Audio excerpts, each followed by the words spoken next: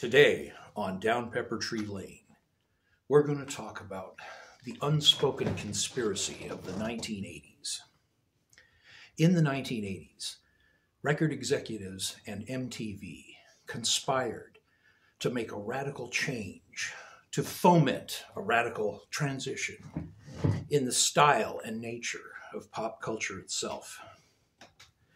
And in that process, they forced many established bands and artists to adapt to this new idea, this new concept called New Wave. New Wave started in the 1970s. And at first, it was considered a joke. It was first not taken seriously. But somehow, it was obvious that this was the trend of the future. Bands like Devo, the B 52s, the Ramones, Blondie, and many others showed that they had great commercial potential and that the times they were a changin'. So there were many bands that felt made a natural transition into this. And there were some that were quite unfortunate train wrecks in the process. Today, we're going to talk about both. We're going to talk about how it interpreted itself in rock and roll and how it interpreted itself in pop music. So let's begin. Let's start with Styx. So, oh boy. Well, now Styx represents an interesting thing because certain rock and roll bands used the so called progressive rock thing as their great umbrella, their great shield and there were bands that were already on this tip and didn't didn't do well with it at first. For example, Jethro Tull had already smelled the smelled the coffee in the 70s and had put out a very strange album called just enigmatically called A, the letter A, and it had a big red letter A on it. And he alienated a lot of his core fans with whereas he was doing this very beautiful instrumental English folk inspired music, suddenly it's this stark, angular, synthesized, you know, very instrumental kind of, with, with strange lyrics that didn't seem to make sense, things that forebode about the future.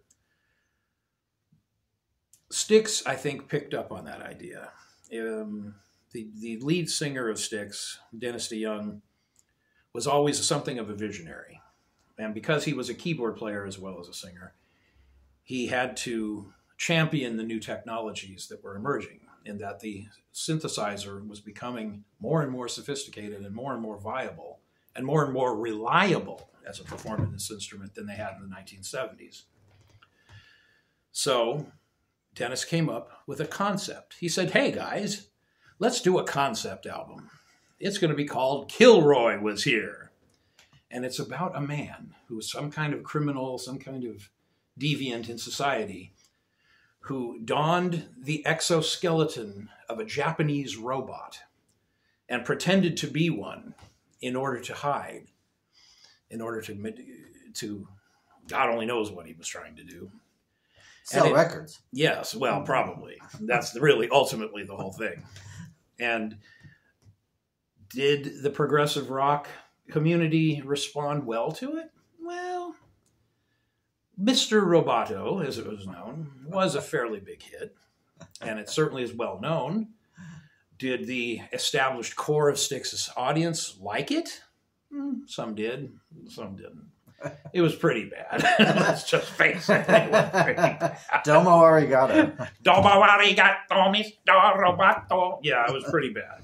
So, so but unfortunately, because it was a big hit, it started the ball rolling in a bad and ugly way. And now suddenly, jumpsuits and new wave and synthesizers were not the, the exclusive domain of new wave bands anymore. Now, progressive rock, established progressive rock bands, and other types of bands were now donning this this look and this sound, and the the train kept a rolling.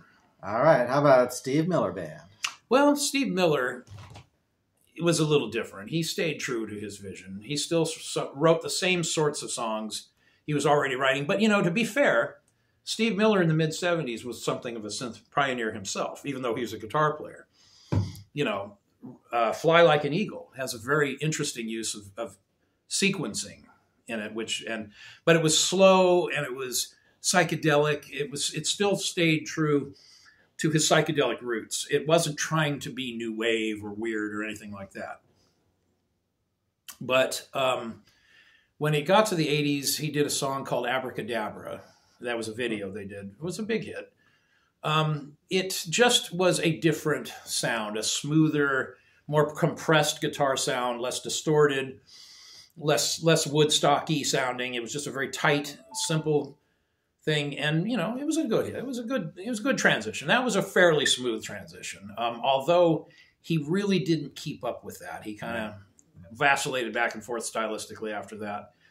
But um, that was a pretty good example of that transition. That's true. Okay, how about the band? Yes.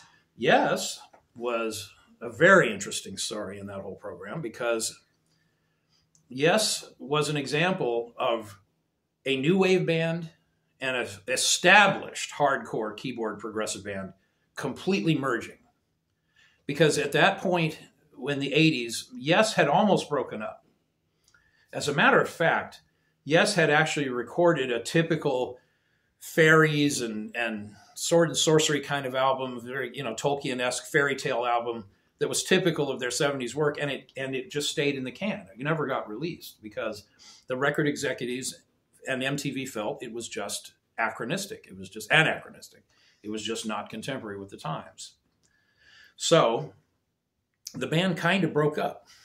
Um, Jon Anderson, their well-known lead singer, left. Uh, Rick Wakeman, their incredible wunderkind keyboard player, went on to continue his own solo career, which many of those works could almost be considered new wave. Um, also, Patrick Moraz, another great keyboard they player that played with them from Switzerland, he left too. So they had to rethink the band. They got a hold of Trevor Rabin, a very, very talented and genius guitar player from uh, South Africa, was brought in to fill in uh, Steve Howe's departure. Um, but what's most interesting is that basically what happened is the band The Buggles, that's new wave band The Buggles, you know, video killed the radio star, which was MTV's first video, uh, decided that they would simply dissolve themselves and become subsumed under the rainbow of yes. Uh, rainbow, well, you could say that way, under the rainbow umbrella of yes. And uh, so Trevor, Ray, uh, Trevor Horn, rather, who was their singer, became their lead singer, and Geoff Downes became their keyboard player. And they adapted and assimilated very well. And the album Drama that they then released, they then released in the early 80s. And what, what year did Drama come out? Like 80, yeah. 80, was yeah. it? Okay. Uh, actually had songs that they had recorded as the Buggles reworked to be Yes songs. And they were quite, they were quite interesting interpretations of them. But once Jon Anderson saw what a success they had been, he just said, "Well, you're not going to record an album of, as called Yes without me singing it, people. You already did one and it was all right, but I'm Yes. I am the voice of Yes." So he came back. And Yes retooled themselves as kind of an 80s sounding band. Their new sound was very keyboard oriented, very slick. Their lyrical content was a little darker, a little more urban. Um, yeah. So but look at the album cover that was so different in design. Absolutely. From all of the airy fairy mountains yeah. and rainbows. Roger Dean was he the guy that did all those it covers? It was just nine oh two one five. Stark gray cover with simple pr- primary colors and a logo and and a, yeah, and the album had a had a number. It was a number. And a massive number one song yeah. called "Owner of a Lonely Heart." Which is could be new wavy rock. I mean, yeah. they seem to do a fantastic job with that song. Yeah. Yeah. So okay, yes, uh, they survived. They sure right? did.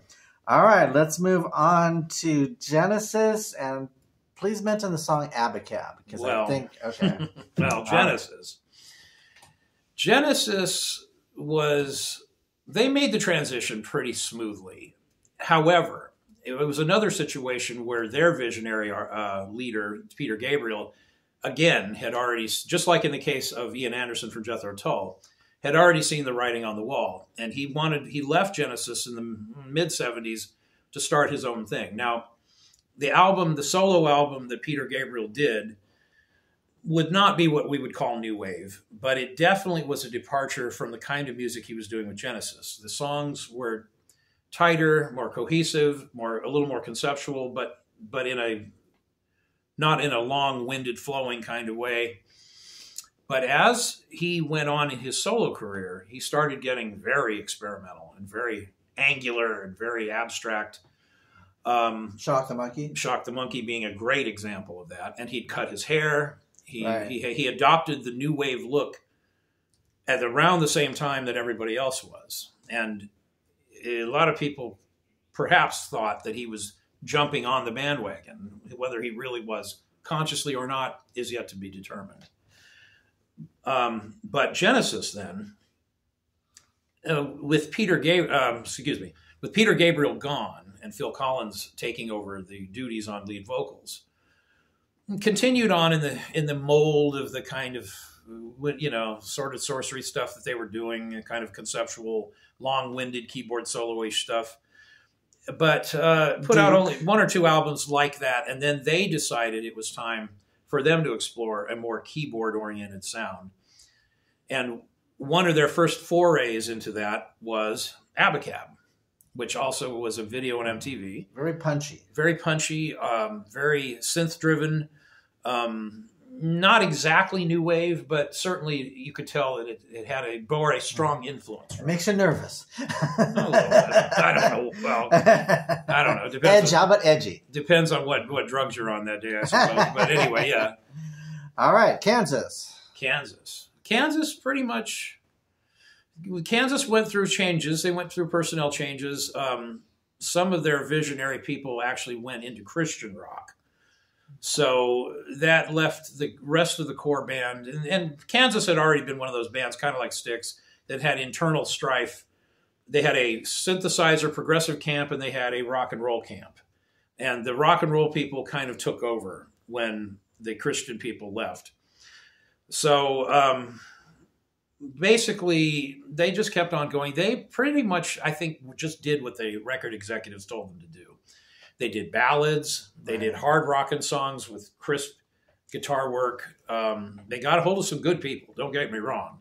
And Kansas's albums from that period are listenable. They're darn good. Vinyl Confessions. But they're not the progressive rock no. thing that you signed up for when you originally started getting into Kansas. And um, you're not going to hear a Dust in the Wind or a, you know, Carry On My Wayward Son on any of those records. Not to say they're not good records but they they explored that kind of both ballads and power pop genre for a few records, and then as time has gone on, they've kind of slipped back into their original in original mold. Uh, that's how they are now again. But it's an interesting interesting adaptation to times and cha- and tastes. I think "Play the Game Tonight" was their, their big hit. That's a good yeah. song. Yeah. Okay, and uh, Cheap Trick. I don't know. Cheap Trick they were already kind of Cheap Trick really didn't have to do much. They right. pretty much were already. uh, when we first, you know, the album that really broke Cheap Trick, strangely enough, was a live record called Live at Budokan. It came out what? What would you say? 78? yeah, seventy nine. Yeah. something like that. And you know, and we all freaked out on that album. We all loved it, and, and that album had appeal definitely to the rock people, the the poppy kind of teeny bopper girls like that record. But it kind of left a strain. They, there wasn't a clear direction after that. Dream Police? Dream Police was a big hit too. That came out right after that. that was a studio album that came out after that. Um, it didn't quite have the co- conceptual cohesion that people thought it would. Um, there were a few very good songs on that record, and that was when pop music started to be and rock music started to become orchestrated. And part of the difference between 70s rock and 80s rock is that 80s rock had no shame about using studio musicians, string sections, orchestral passages, And I think that Dream Police is a great example of that transition into that bands just letting themselves be produced and not complaining about it and just letting it happen. Doing some pretty good videos that would go along with them. The Dream Police video is all right. Um, they became a hit and miss at that point. I would right? say so. Yeah. I think "She's Tight's" kind of a new wave song. Well, the problem is, is that uh, Cheap Trick was was never a hard rock band. They were a power pop band. So they were really a sort of a vanguard of the new wave sound before that even that term even existed. So they're they're a hard one to call. Yeah, and we will close with ELO. Well, ELO went through many changes. They they were really they basically it just survived the transition in and out of disco. Right.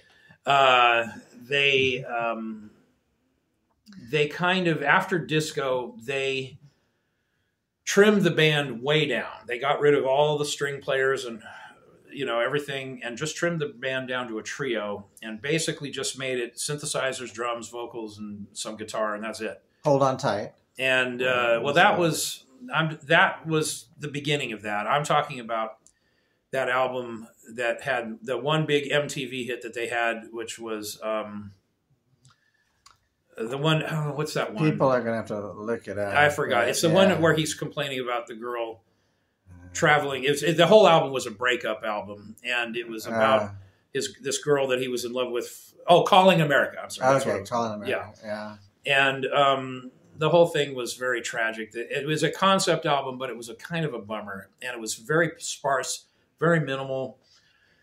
I the ELO survived the '80s, but weren't really a huge part of its sound. All right, that ends the rock segment of New Wave. Thank Stay you, tuned. Mike G. All right.